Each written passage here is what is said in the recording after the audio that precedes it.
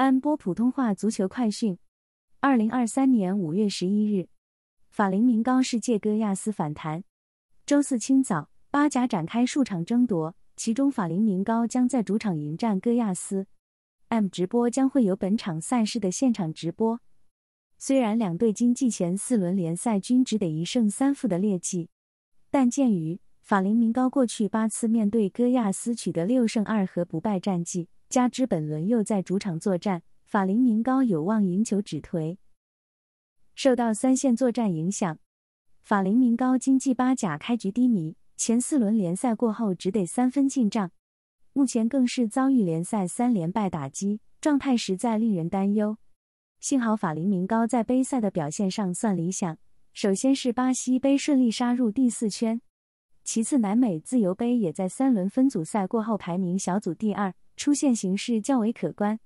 其实法林明高之所以联赛表现低迷，与防守有关，四战居然失掉七球，这与球队在今届巴西杯和南美自由杯的总失球数持平。联赛防守专注度急需提升。所幸的是，法林明高的进攻保持一贯水准，四仗联赛攻入七球，而且在巴西杯赛场曾上演单场狂轰八球的入球盛宴。其中锋线王牌加比尔经济在三条战线上均已开斋，此子金帐期待延续入球势头的同时，帮助法林明高赢球反弹。阵容方面，中场佐治安迪阿拉斯卡达和前锋班奴亨利基等人伤缺。另一边厢，经济时隔数年重返南美赛场的戈亚斯，无疑将重心放在了南美球会杯上。幸好球队也取得了颇为理想的成绩。目前三轮分组赛过后未尝败绩，出现前景良好。然而本土赛场则频频遭受打击，先是巴西杯止步第二圈早早打道回府，紧接着巴甲前四轮只得一胜三负的糟糕战绩。当然，戈亚斯的低迷开局并不意外，毕竟他们是近年巴甲有名的升降机。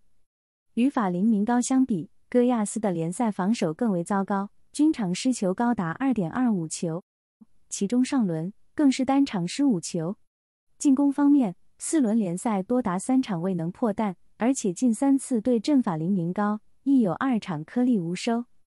攻不锐、守不稳的戈亚斯此行抢分无望。阵容方面，后卫卢卡斯赫达因上轮染红而被罚停赛。谢谢你收听安波普通话足球快讯，感谢你的支持并订阅我们的频道。